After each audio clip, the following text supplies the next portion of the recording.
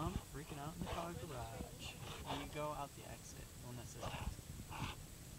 Say hi to the lady. She's happy. Hello. Hello. Are you taking that nice bus over there.